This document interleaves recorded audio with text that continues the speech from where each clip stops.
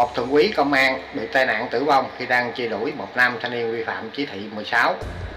Theo đó, ngày 3 tháng 8, Công an quận 6 thành phố Hồ Chí Minh đang tạm giữ đối tượng Hứa Văn Bê, 27 tuổi, ngụ tại quận 6 để làm rõ một thiếu úy hy sinh khi đang làm nhiệm vụ phòng và chống dịch Covid-19 trên địa bàn.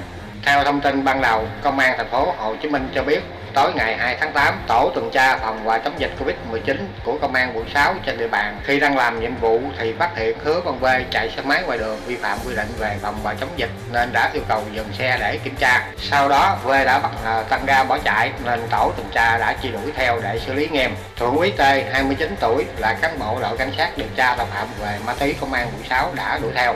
Khi chia đuổi được một lúc thì khi đến đoạn đường lò gốm, xe của thượng úy tê đã bất ngờ mất lái lao lên vỉa hè và tông vào nhà của người dân. Ngay sau khi nhận được tin báo, công an quận 6 đã có mặt tại hiện trường để khám nghiệm điều tra. Chiếc xe đã dừng lại sau khi đâm vào những chậu cây cảnh trên nhà của người dân. Sau cú va chạm mạnh đã khiến chiếc xe máy hư hỏng nặng. Nhiều chậu cây cảnh phía trước nhà cũng đã bị hư. Tại hiện trường, xe máy kẹt cứng khi lao vào bức tường của nhà người dân. Mặc dù được các đồng đội hỗ trợ kịp thời nhanh chóng và đưa đi cấp cứu, nhưng Thượng úy Tê đã không qua khỏi.